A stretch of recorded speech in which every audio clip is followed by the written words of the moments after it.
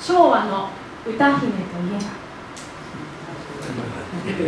美空ひばりさんの名曲の中から今日は雨がこの身に降り注いで自分の運の悪さばかりが気になるけれども。でもきっと愛が私の身にさんさんと降り注いで人生って嬉しいものですよね。そんな風に、えー、人生の喜びと悲しみを歌われた「愛さんさん」聞いてください。